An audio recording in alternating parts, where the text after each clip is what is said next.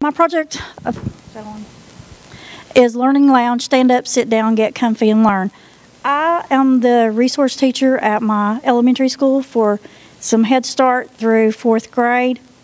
So what I've noticed is we have a lot of fidgety kids. And so I wanted to see if maybe changing out the way the seating arrangements were, would that help with their on-task behavior, staying focused and on task. So like I said, my goal was to redesign it for flexible seating just to see if that would help.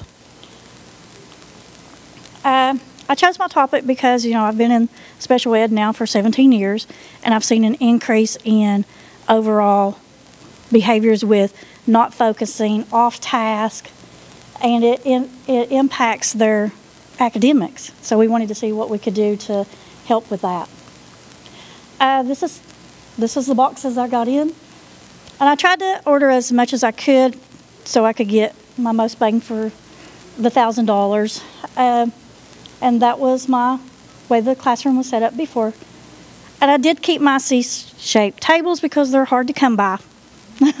so um, it allowed me to go ahead and see how the kids were doing prior to this. So I did it before Christmas, and I kept track of one of my students who is ADHD and FMD student on how well she did with and without the seating arrangements.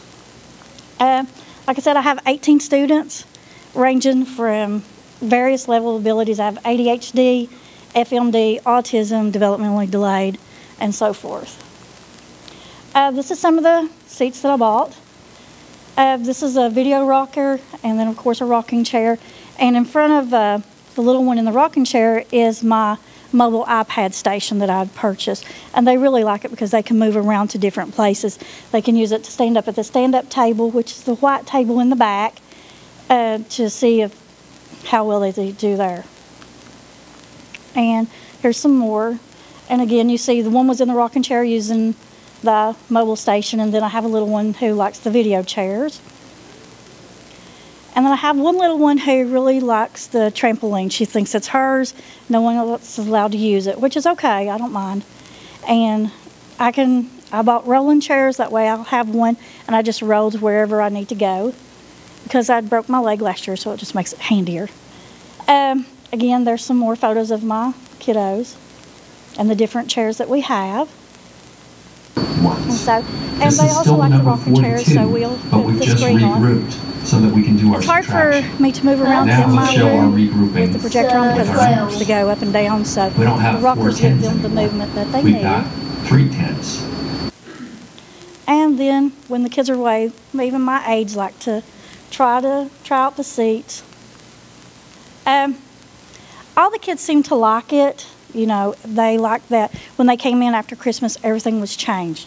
And so they have their own uh, quirks about which one that they want to sit in and um, which ones that they don't. I've had a few seats that they just do not. Here's what the data is on my fourth grade. Like I said, my female student. Prior to, as you can tell, she was in the 30s and 40s, but after she chose the seat that she likes to sit in, and she likes that blue bouncy one. Um, so, and hers decreased. So she was able to stay on task. I polled my students, and most of them, like 85%, 80%, liked the flexible seating arrangement. Um, and the redesign was like 7 out of 10. I think that it helped. It was an overall positive experience for my students, and they've done much better with it. I will say there are some seats that I would not do again. The back patter seats they didn't like. Uh, for some reason, my little group didn't like the lowered tables, so I raised them back up.